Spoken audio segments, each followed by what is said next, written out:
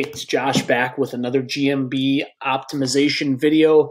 In my excitement over the Google My Business free website and optimizing that, I totally forgot to hit the services section inside your profile. So that's what we're going to dig into in this video. So we briefly talked about this in the first video, and I said I would go through it, and then I forgot. So here we are. We're going to talk about this uh, services tab. Services tab directly it takes information directly from the categories that you chose in one of the earlier videos that we did. So for us, as you can see, this is still our primary category. And when you guys open this up, this is what this, um, you know what, let me, I'm going to add a business category. I'm not going to save this, but I'm just going to show you guys what this looks like. So this is what it's going to look like the first time if you've never done this before. Whether you're some kind of whatever kind of contractor you are or whatever kind of business you have, you're going to most likely find some pre-built options and as soon as you click on these, all of a sudden these become your services. So you can click on whatever type of business you do, whatever services you offer that Google, excuse me, already gives you. And that's what this looks like. So I've already done this and I've already done it for all of the different um, services that we offer. So once you click inside of here, you can actually do some optimization.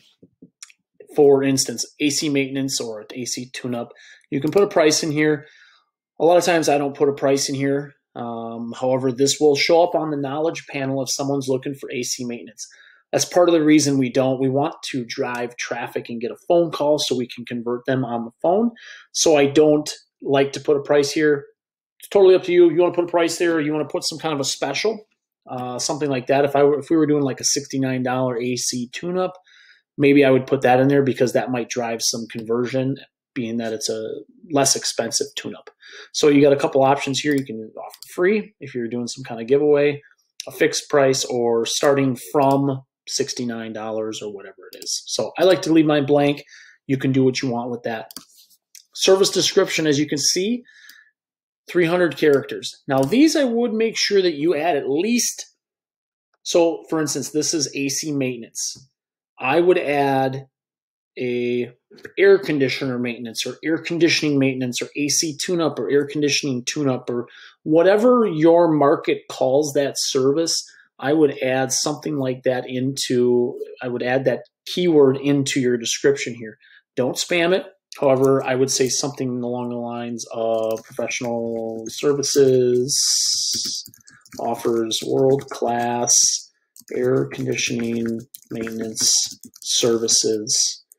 Um, our 21 points safety and efficiency inspection uh, includes a free uh, emailed checklist on completion of service, something like that. Okay. Um, again, normally I take more time to think about this stuff, but as I'm doing this with you guys and I'm kind of updating some of this stuff with you guys, I'm just going through quickly. So a couple things that you guys can do with that to keep in mind. You can certainly delete them if it's not a service you do. Other things you can do to optimize this, and you can add custom services. So what I've done for this in the past is I've taken things such as, so we have AC maintenance listed.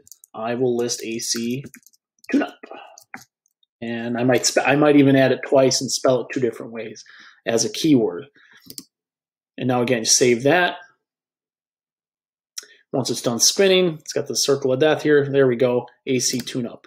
Um, let's say, for instance, we have install heating system, which isn't necessarily a keyword that I think a lot of people would look for. So I would do furnace installation or furnace installer or furnace install, something like that.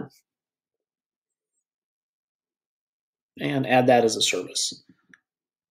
So, and one thing, and I should, we're going to go back to our original description here. I'm going to show you what this does, especially if you have a couple categories that are like that have the same service. Professional service offers world class AC tune-ups.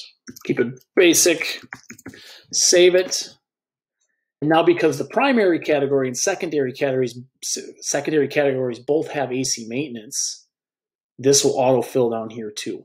So you don't have to do this five or six times. You just have to do it once and completely optimize it. Again, something that uh, Relentless Digital does for our clients to make sure that we have that good foundation. But this is a, an important part of making sure that all of your services are selected. So Google knows when somebody types in a certain keyword or looks for a certain service, they know that you offer it and that's your type of business. So hopefully this was helpful. I will see you in now we're going to switch everything over to Google local services and I will see you in the next video.